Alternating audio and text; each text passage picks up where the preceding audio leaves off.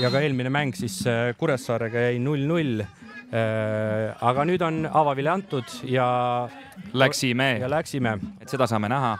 Näevad Usta siin kohe võistluses, aga Singates saab ilusti panna nüüd paremale äärele, Tambetuu saab jooksma. Ja keskel on mees ka veel söödu kohta, aga natuke lühikeseks jääb see sööt ja mehed oma positsioonidele tagasi. Ja, ja proovivad uuesti Paidekat äh, lahti arutada Pärnut ja Ojamaa saab ilusti paremalt äärelt läbi, nüüd on söödukoht, kas leitakse sööt ja Singate lööb Kuid... Frolov mängib kiirelt lahti Möölile, uuesti Frolov ja löögikohaga sealt Frolov saab lüüa ja seal on jalg vahel ja, ja sealt äh, karistusala joone pealt löögile ja Nõmm selle äh, nii-öelda oi, oi. ja siin vilistatakse ära, särgist hoitakse, hoitakse natukene pahasti kinni, jah. Singateh versus Nõmm.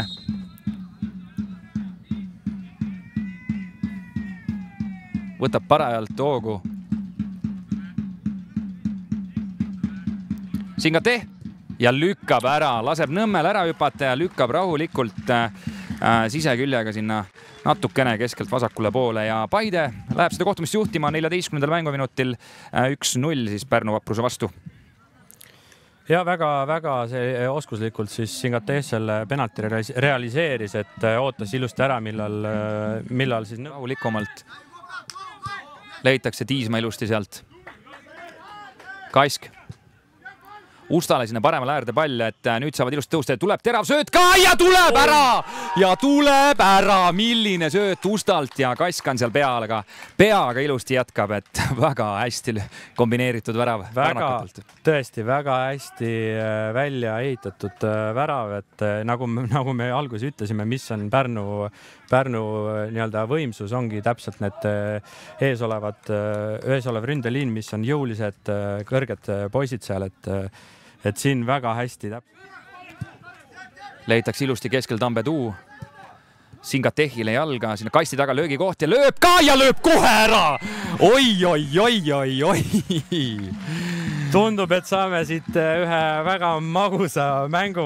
Paide linna meeskond läheb äh, kahekümne esimesel mänguminutil kaks-üks juhtima, kui Pärnu vaprus just äh, paar minutit tagasi lõi üks-üks viigivärava.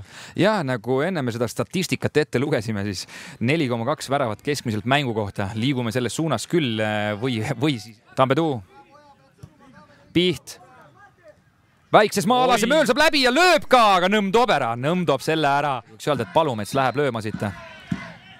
lööb ka ja lööb ilusti, aga. kolm hooaega Portugal. aga nüüd saab oota Pärnu ilusti tulla vasakult Kiivit ja toob selle palli kasti ka ja seal on hästi peatreener ootas ka, nüüd Mostnikov saab jooksma ja lükkab Tambetuule siia vasakule, Tambetuu läheb kiirusega Villotast mööda ja Nõmm on vastas ja Nõmm võtab selle palli ära praegu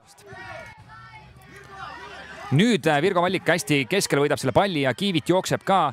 Kiivit meenutab veits äh, Haalandi jooksustiili, aga Kiivit läheb ise lööma ja lööb ristnurka selle palli ära. uskumatu, seitsmekümne kolmandal minutil otsis seda söötu, aga ei olnud ja mees mõtles, et mida ma otsin, kui ma oskan ju lüüa. milline soolovärav äh, siis äh, Valliku poolt suurepärane, sai keskväljakul palli, jooksis ise rünnakusse. Äh, see Kiivit tegi väga hea jooksu äh, iseenesest võttis kaks kaitsemängijat enda peale, tekitas sellise ilusa koridori ja Vallik ilusa löögiga ristnurka, Aksul ei olnud mitte midagi. Krolov palli taga, tuleb see pall kasti ja tuleb ära, Jussif lööb ära selle Jussif lööb ära selle, väga hea pall Frolovilt, Jussifilt, ideaalne jook sinna äh, kasti taha otsa. Martin, üle Martin Kase pea see pall läheb, et kohe-kohe kindlasti näeme seda olukorda korduses ka. aga kaheksakümne nelja, neljandal minutil siis Paide linnameeskond äh, läheb seda kohtumist kolm-kaks äh, Pärnu jalgpalliklubi Vapruse vastu juhtima. nagu sa just ennem, ennem ütlesid, et see annab väga hea olukorra, aga siin äh, mängivad. Frolov saab ilusti ja pealelöök ja veel pealelöök.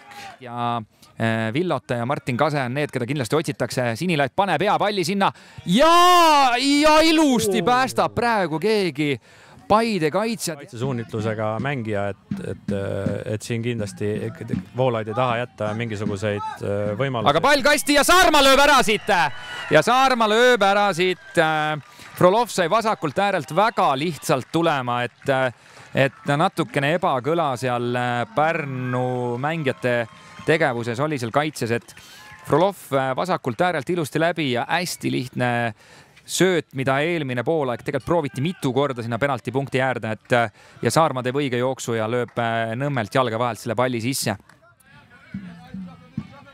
Janovits vilistab lõpuvile ja selline saigi siis tänane kohtumine. neli-kaks Paide linna meeskond saab oma kohustuslikud kolm punkti nii-öelda kätte